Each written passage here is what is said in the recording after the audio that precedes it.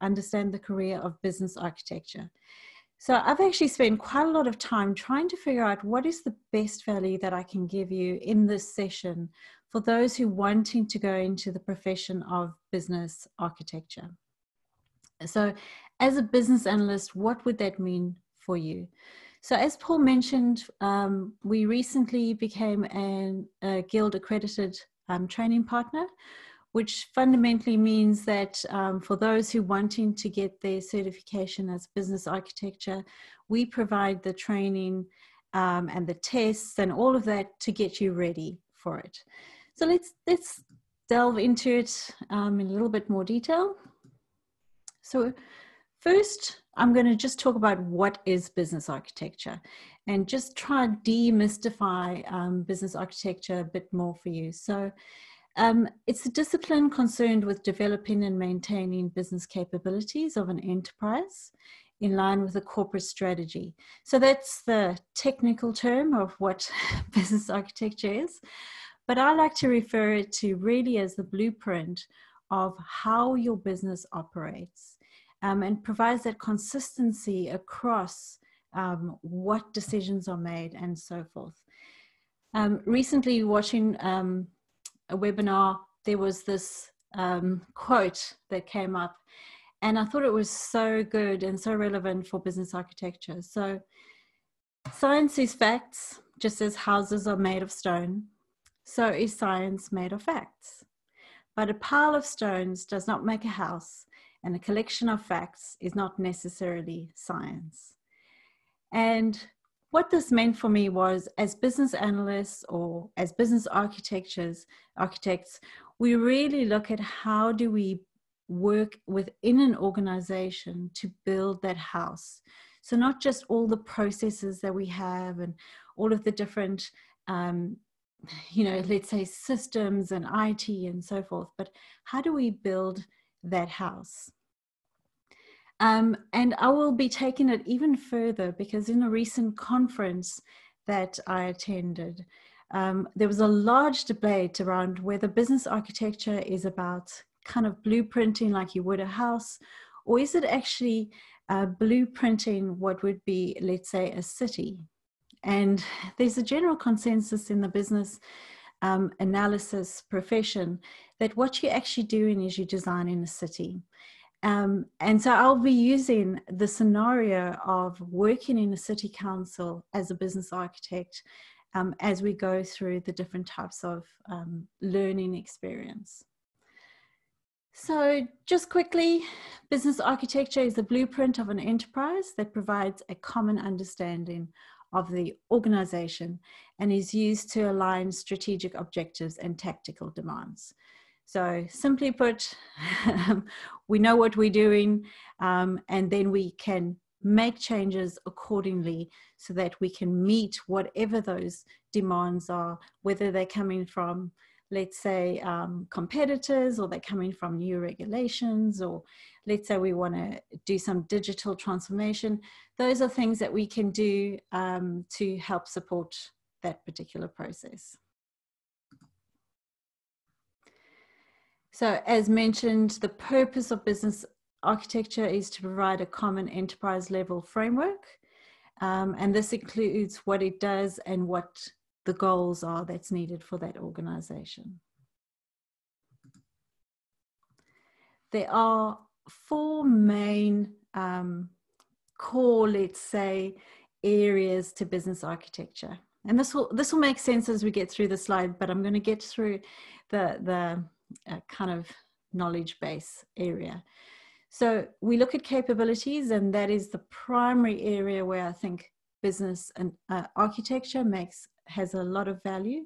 So this is around what does the organization do, and this isn't around what does the organization do, you know, just this month. This looks at what does the organization do as a whole over a long period of time.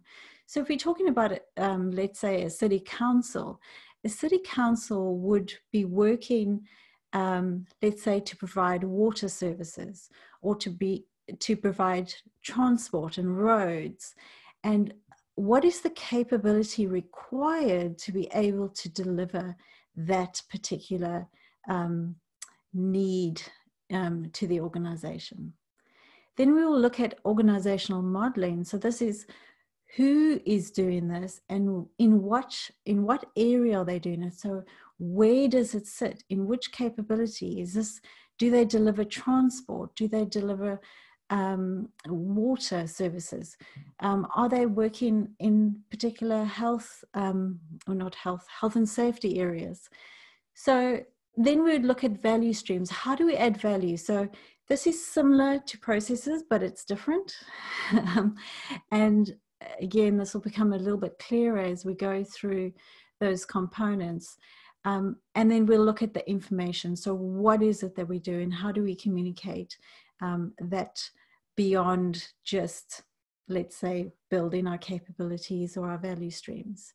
So, it's this is really the core of what business architecture provides. And from a theory point of view, it can be quite frightening initially um, because it, it might seem all very new, but um, it really is the foundation. So, what we do as business architects is we would take our capabilities, we'd look at the next level ecosystem. So, we'd look at policies, we'd look at decisions, we'd look at strategy, stakeholders, etc., metrics, and we would create a blueprint of the organization. So, we'd use scenarios and we'd use blueprints um, to create those. Now, similarly, if you look at your BABOK guide, you'll see that in chapter seven, we talk about requirements blueprints and requirements architecture. Um, and so I'm going to show you how this can, how this works and how it can bring together.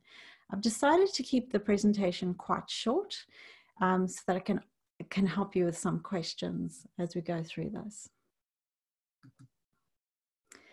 All right, so here's the real question I want to present to you. Why business architecture? So, why should you even consider, um, you know, uh, moving into the career or learning more around business architecture or how to, um, you know, converse with enterprise architects or how to work with C levels? Why should you consider business architecture as your next step in your business career? So, as a business analyst, and I'll only talk about you as a business analyst moving into this career and transitioning, um, we kind of recognize and know this picture.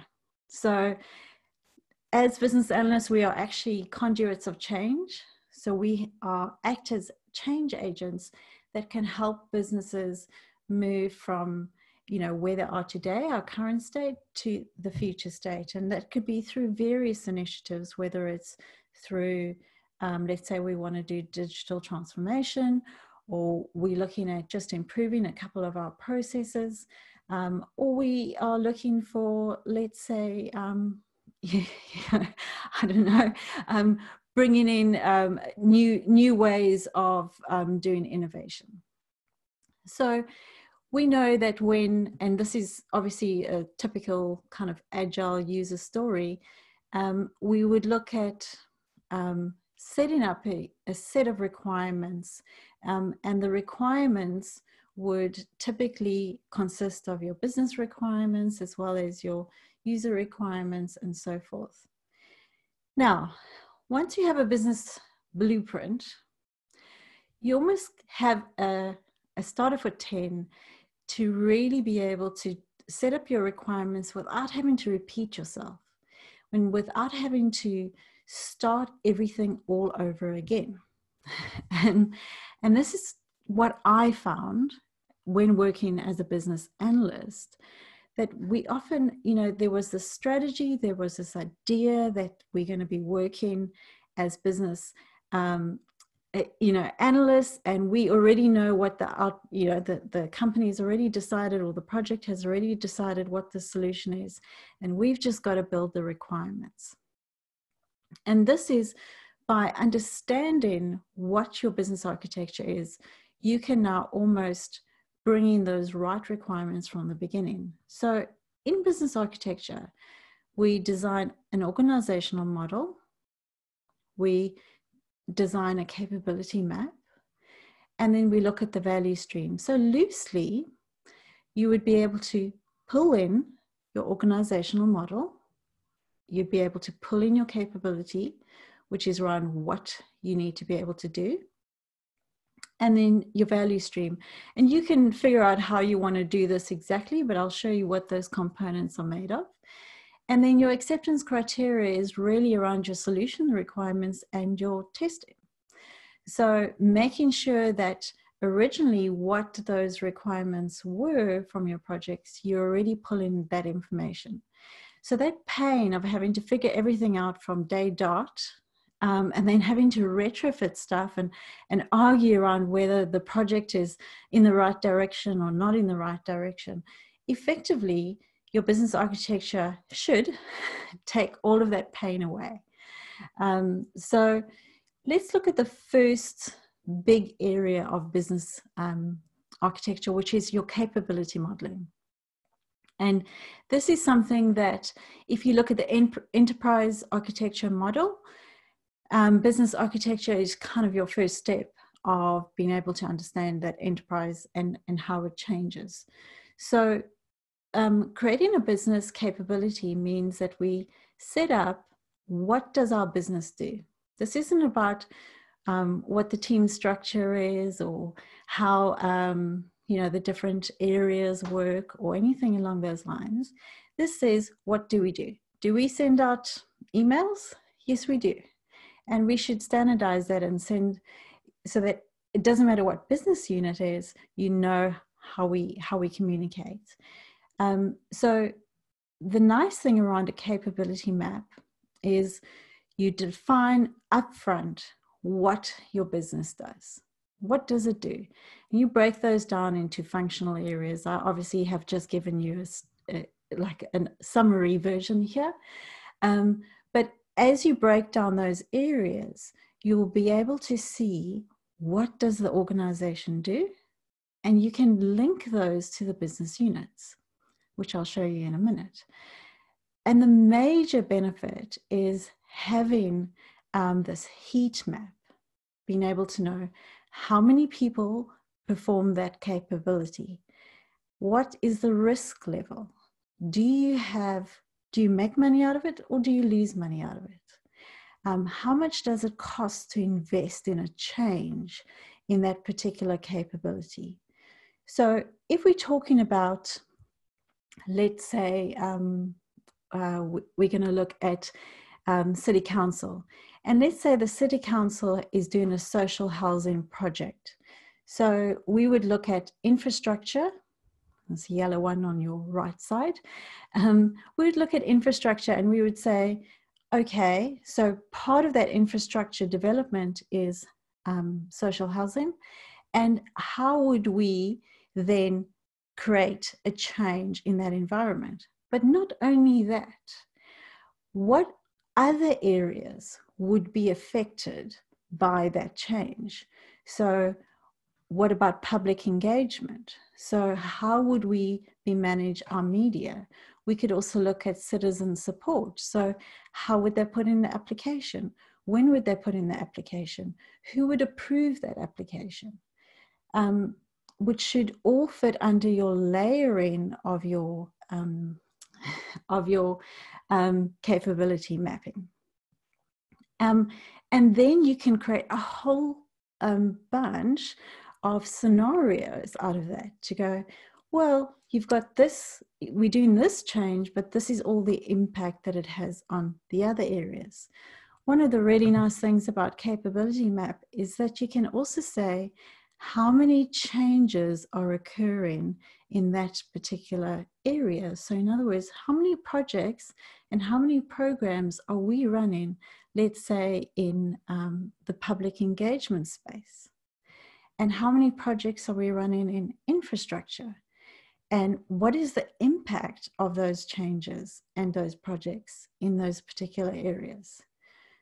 So, to explain this, we are really just starting from having something that we already, you know, we're starting with something we already have, and we can put in the analysis to help understand what that change means.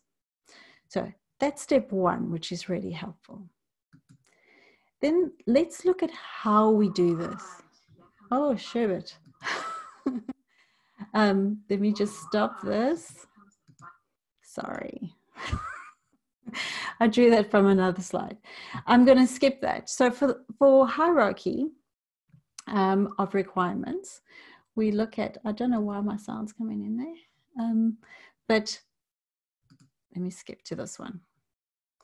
So when we look at the hierarchy of requirements, um, we would look at, you know, what are we doing? So as a user, I want to be able to do something um, so that I can achieve something.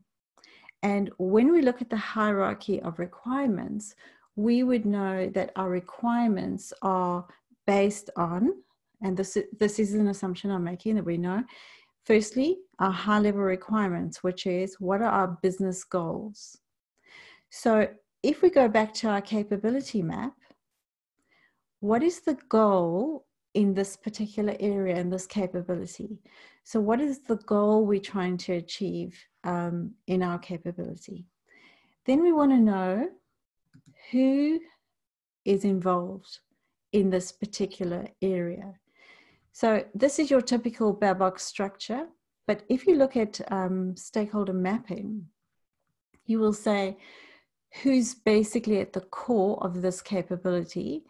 And then you would layer it out from core, indirect, um, and then you would look at a peripheral. So once you have a um, organizational map, you can cross map the individuals from that organization into um, your um, your capability, and therefore it should pull out exactly what users are involved in that capability um, process. So let's have a look um, at your um, stakeholder or your value stream. So what you have as a process in typical, you know, BPM style or so forth is a little bit different with business architecture. You really just look at the high level outcomes. So, what are the main components that need to happen? Um, that doesn't mean you don't carry on and do processes like you might have to do a process on how to apply for building consent. Um, but you wouldn't necessarily need to um, go into that level of detail. So the process will have the detail required on applying for business consent, but your capability um, cross linking with your value stream is based on what is the outcome that you want to uh, achieve. So what? Um, so when you look at so that um, I can do something in your um, user story, you would be able to say, so that I can achieve this particular thing, which is I'm obtaining approval for my building consent, for instance. So, in order to measure that and to create your solution requirements and your user testing or your acceptance criteria, you can then pull in the capabilities into each of these particular areas and you can test that we can reach those particular areas. So all of this is already, we think, existing within the organization, which makes change a lot easier to manage. We also know that this already exists, so we can start to measure against it more effectively. So those are really the components that we sit with um, when we're looking at our requirements and how do we run our requirements. So we'll start off with how this user story fits into the business goals and the business requirements at a high level. We then break down that business requirements into your user uh, stories or your stakeholder requirements. And then we would look at what are those solution requirements um, and the testing that we need in order to deliver um, to those capabilities, to that value, and um, you know just generally to to the business. So um, that's why I think um, business analysts should consider business architecture. So, in a nutshell, business architecture takes the strategy, so what the business is trying to achieve, creates a platform that is the bridge to allow change. So, it is if you think of a city or you think of a house, it's creating that blueprint that are, that should exist so we can make good decisions. So if you're wanting to um, build a house, you would be able to understand the impact that it would have, let's say, if you're going to change your bathroom, how that bathroom piping system, how that all works, um, and what that change would um, you know how it would affect other parts of your home. Uh, so business architecture brings the strategy and the tactical dem- demands together and provides you with the tools and the platforms in order to be able to deliver to that um, that change um, but not only that you can start doing some real analysis on the operations of the business because you have the information and the structure already there and ready to use. So that's me. I'm going to try figure out um, how to find to get back to this. I'm just going to end this for a minute. Um, and then, Paul, I'd like to open up some questions. I can always bring the screen back, but um, I'd like to see where we are question wise. Okay, you want to go for questions now? Yeah. Okay, great. Um, I think we've got a small enough group that I can just unmute everyone and, and people yes, can ask that would um, be great. questions. So um, I think I'm going to start off seeing it I'm first in the line. Um, it's one kind of thing I'm trying to clarify my mind, and that is kind of where does business analysis stop and business architecture start? And that's kind of what I, am trying to figure out at the moment. And then I'll, I'll mute everyone afterwards and. Okay, sweet. Um, so business architecture starts at the beginning. Um, and so, you know, when people say we want to change something, that's where you, you bring in a business analyst, and the business analyst starts helping you change something. So, the business architecture starts um, at the very beginning, where you're creating a structure that you can work with so that you can do change. At the end, of all of this, it does the reporting and the um, analysis, well, not so much the analysis, but um, allows you to be able to understand your organization and what changes have been made. So, business analysts sit in the middle, and business um, architects sit on the far ends. And they do still work together in order to be able to make that change. What is the role enterprise architecture framework I'm just going to mute um, for the time being with the background noise and then I'll unmute later. Okay. Sorry, continue.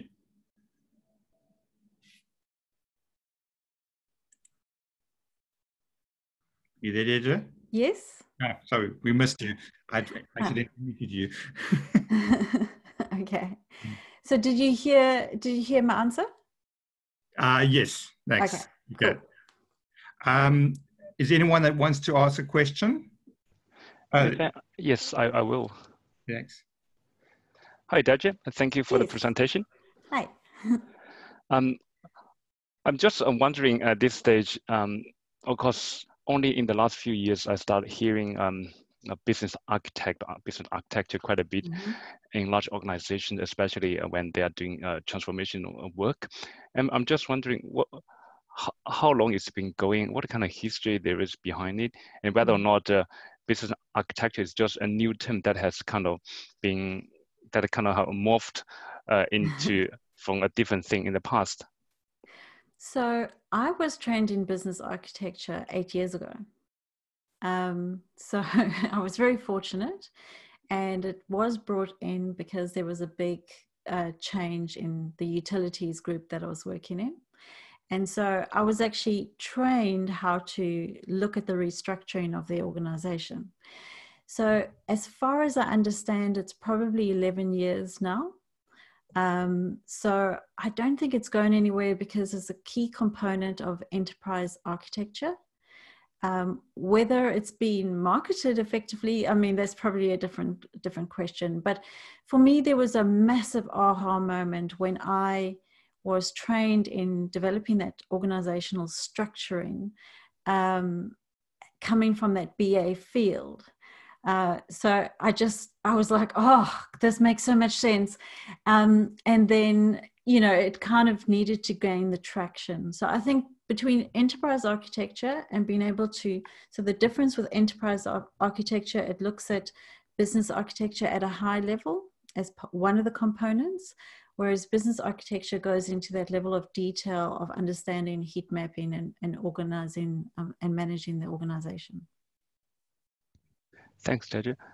Uh, and just, just based on the experience I had in a lot of large organizations when they are running big programs of work, they often recognize the importance or value of having uh, the key roles in the program, such as um, BAs, PMs, and quite often um, enterprise level um, uh, enterprise architects.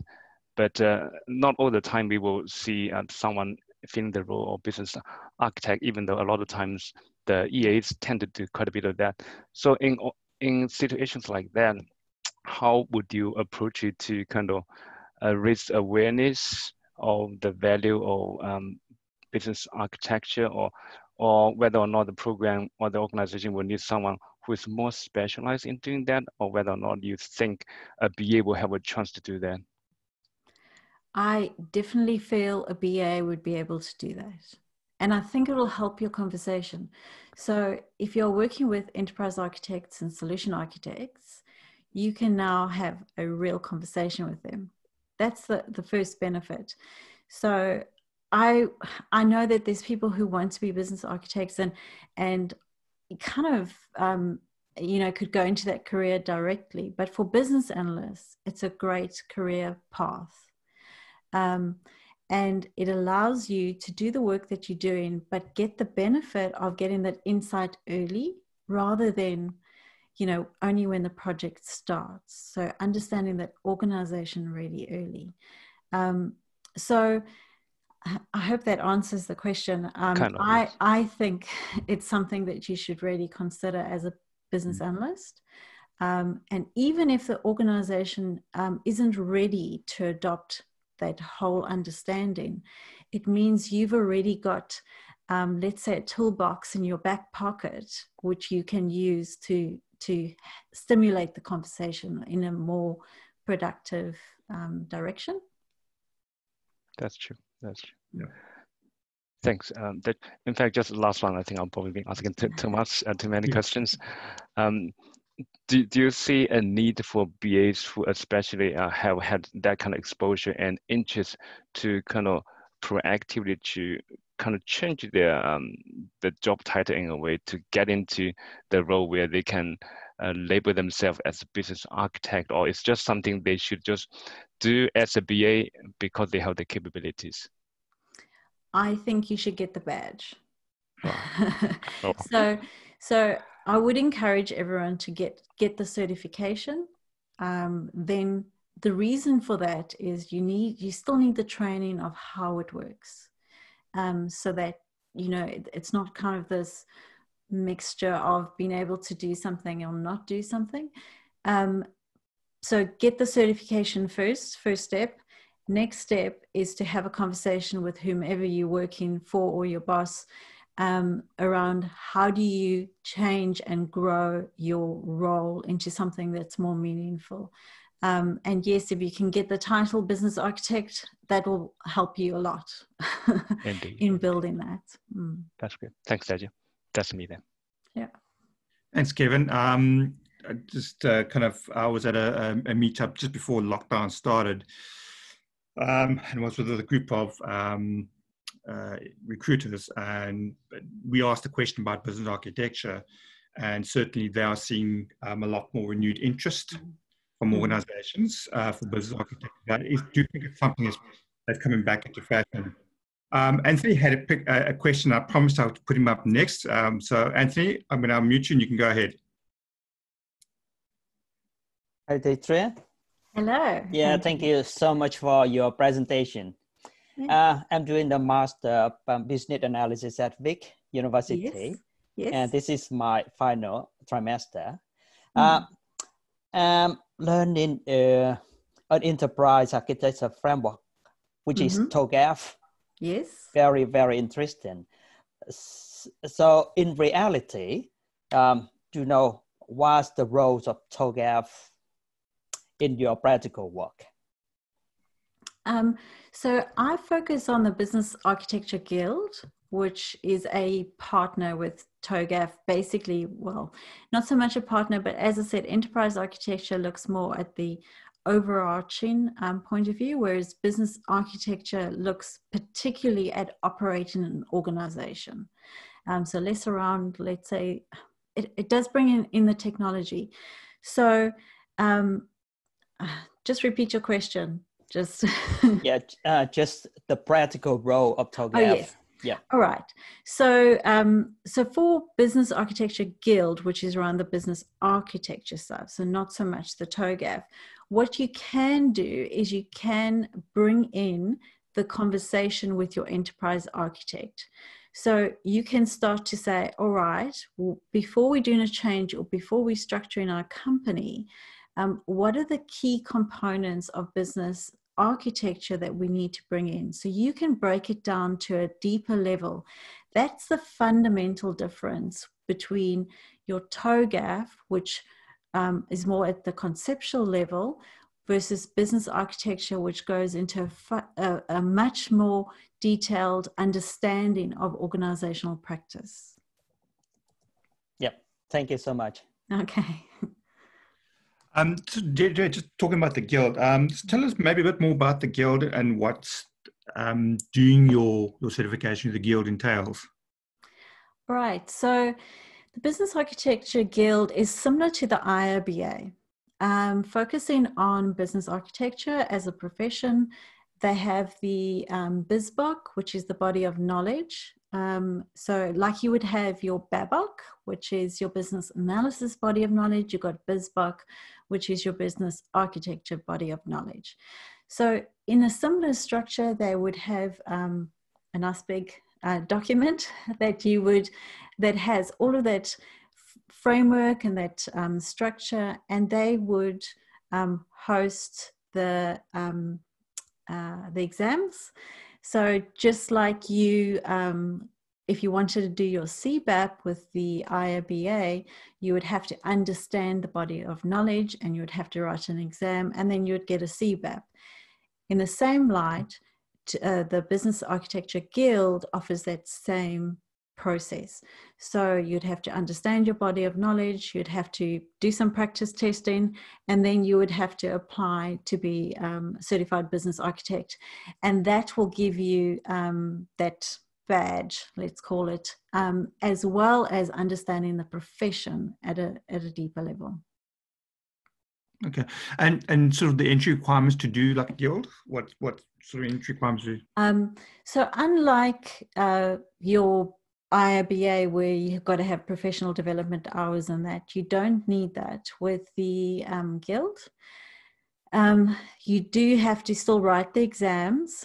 Um, and so the content is a little bit um, trickier to, to navigate through. Um, so it's best to still get training. So you can just study the guild, I mean, sorry, the BizBoK, and then go and write the exam. And you don't need to have been an architect.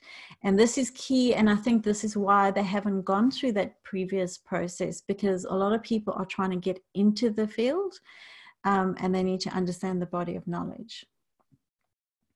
Okay, thanks. Um, is there anyone else that wants to ask a question?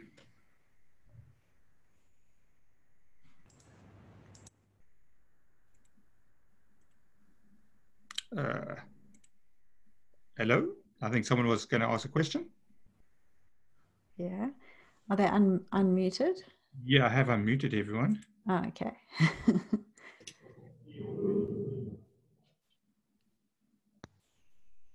Hello. Kevin. In fact, I will just Yes. ask another question. um, on the um, because I'm relatively new to business architecture in terms of the certification side.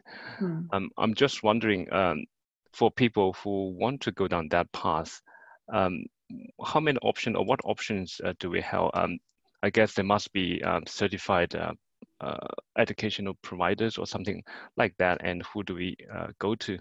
Hmm. So obviously, I want to say that I'm one of them.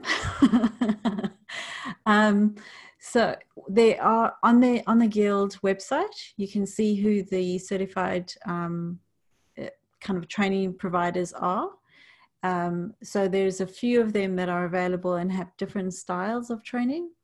Um, it really does depend on what you're trying to achieve. So if you want to get certification, you want to have a list of practice tests. Um, some of them, uh, obviously, it's the only one in New Zealand um, that we're working with now, but there is a list. So if you go to the guild, Right. you'll see a list and you'll be able to um, do a bit of research. in Uh, that. is that the business architecture guild.org?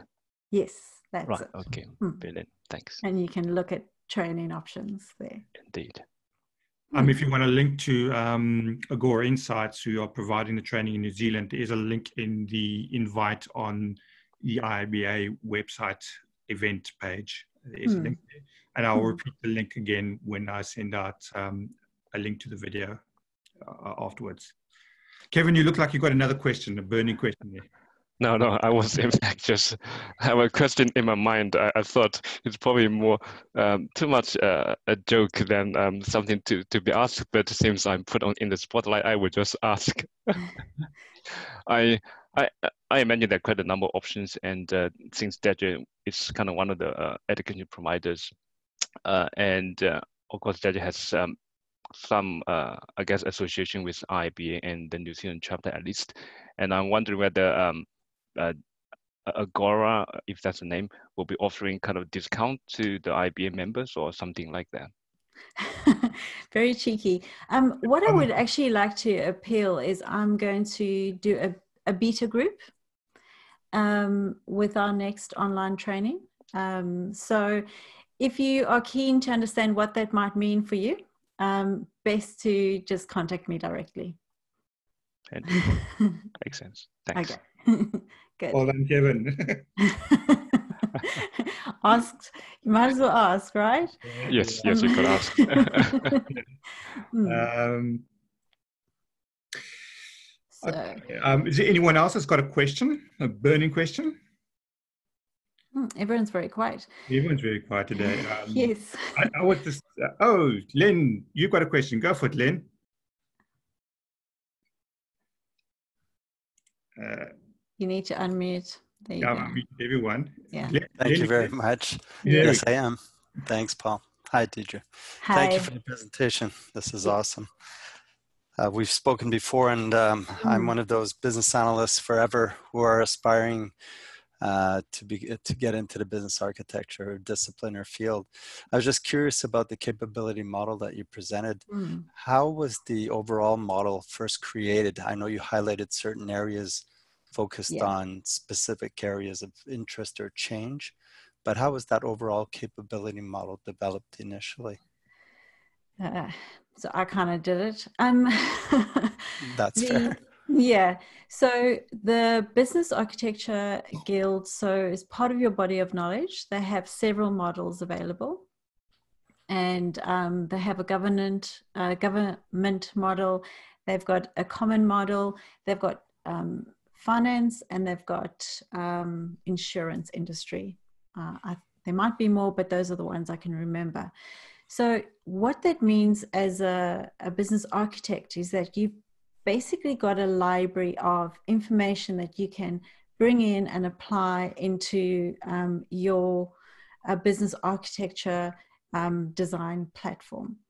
And um, the the good thing with that is that you don't have to necessarily verbatim copy it, but you can reference it. You can go to it, and there's already um, a description of all of these different industries that you can use and that's very um, helpful, I suppose. Um, so, what I did is in preparation for my training program, I've started to create um, capability models, which are fictional, um, based on some experience I've had in the past, as well as to help um, create a story in the training um, so we can understand how to build these models um, you know within organizations how we can coach them to build um, them correctly and what are the language and structure rules um, that need to be be done. So the one that i've been building is for city councils um, and that allows for that capability functional decomposition um, to be there and to start doing changes um, effectively in that sense so you were able to leverage the reference model or capability map that was provided uh, based on government uh, practice as a as a platform or as a trampoline, I if used, you like. I used government government um, mostly, um, but because it's not quite the same as city councils, um, I also looked at you know what general operating um, structures were in city council. So kind of try to do a little bit of a blend to make it um, more appropriate. Um, and when it comes to the definitions of those capabilities, I will also look at the common reference model um, in the guild that the guild offers. And one last question. Thanks for all that. How much engagement did you have in that particular initiative or project whereby you had stakeholders helping validate the model you were proposing to create that understanding of the business, like you mentioned, which is the goal of the map? Yeah, so I'm going to have to um, switch this around. So the goal of this map was for my training. So I've worked with a really small team and we worked over the last year around what those capabilities might mean um, in the organization. But the the real live one, which was done um, a few years ago, which is around utilities, um, that went into um, so we'd look at the, the common model and then we'd build those capabilities according to what the organizational needs were. So it, it took a long time initially to build it um, and to use the right language and structure it. So it didn't fit verbatim into, you know, into that, um, but there was quite a big team of diverse people. So from BAs to business um, um, architects to uh, enterprise architects to different stakeholders, and they all kind of like everybody had to build it together. And then we structured the value chains and the value streams out of that. Thank you. Thanks, Len. Um, so last call if there's any questions. Otherwise, uh, we can end the session for the day. Going once, going yes. twice. Kevin yes. so I got to get the last one. um, it, it, I just realized um, because uh, IIBA has the um, CDP, um, the professional uh, development point, and I'm currently a CBAP certified, and I, I kind of every training um, I go for, I will kind of ask the question whether or not I will get the point. So as you mentioned, uh, the business architecture is also kind of one of the knowledge that uh, well the BABOK touched on. I'm just wondering whether by going to uh, business architecture type of training, whether we will get the CDPs for our uh, well certification for BAs. So with um, the session that we're having now, because the, um, uh, the business architecture is actually a perspective in your BABOK guide. So in chapter 11, of your BABOK guide, you'll see it's got agile, it's got various perspectives.